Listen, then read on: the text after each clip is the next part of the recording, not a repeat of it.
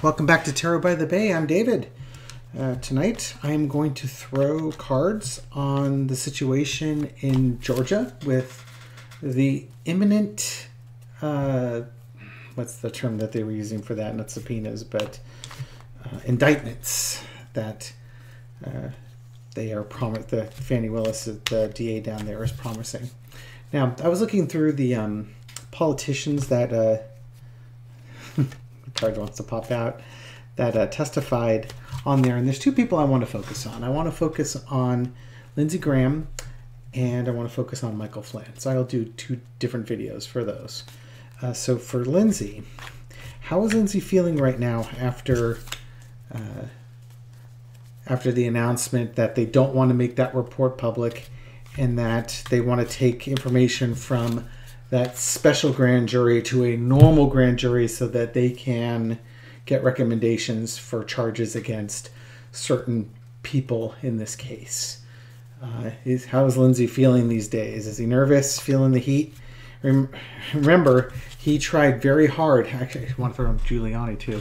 He tried very hard to not have to testify and fought and kicked and screamed about it and said that it was just part of his normal day to day political business, which it isn't. Nice try. Okay, so how's Lindsey feeling these days with regards to this? Let's throw a six carder on that one. Page of Cups. Okay. Um, it's an emotional time. It's a new emotion for him. And I think this new emotion for him is he's in big trouble. And that's crossed with the nightmares that he's experiencing. He knows he knows he's in big trouble. Big, big trouble. In the past, Ace of Pentacles. I think this is him going down to um, to Georgia with an offer.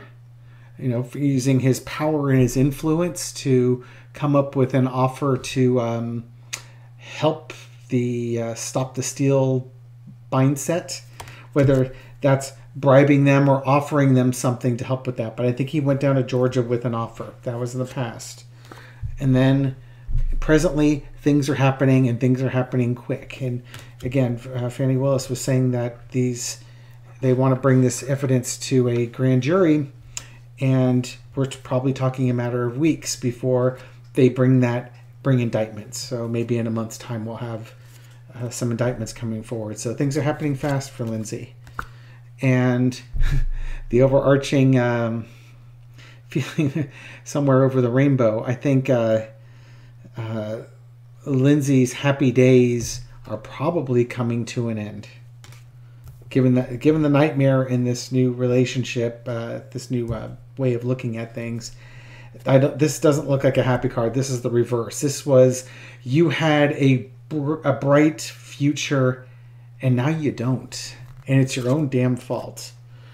And the lesson to be learned is don't be somebody else's messenger boy. He was a messenger boy for Donald Trump.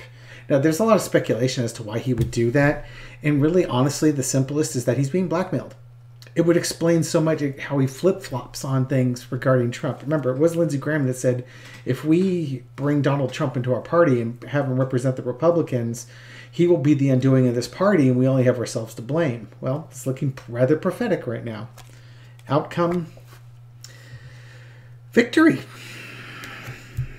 Really? Is that reversed or is that upright? Underneath it is the lovers. Now, he made some bad choices with this one. I want to throw uh, some clarifiers on the victory. Oh, first card ain't there's devil. I wonder if the devil was going to show up, and because the devil goes down to Georgia, you know. Um, it's a victory. Maybe he doesn't go to prison. Maybe he gets off with a hand slap. But this could also be, you know, the reverse of victory, which is defeat. And it has everything to do with the choices that you made. Let's see. Justice and going away. No, this isn't victory in the sense that he's going to win this court case. This is the reverse of victory. This is the loss. And the loss is tied to his ties to Trump and the big lie and the truth is coming out and he's going to be going away. You know, he might get some prison time for this one. So that's my throw on Lindsey Graham. I think right now he feels like he's in big, big trouble. And may, again, maybe that victory card is him, or the page, page of cups is him starting to talk, trying to save his bacon from uh, from the worst of prison. And that victory card could very well be him not getting as long a time because he's cooperated. We'll see how much of a survivor he is. Thank you for watching. If you like this video, give a thumbs up. Subscribe if you haven't. Thank you.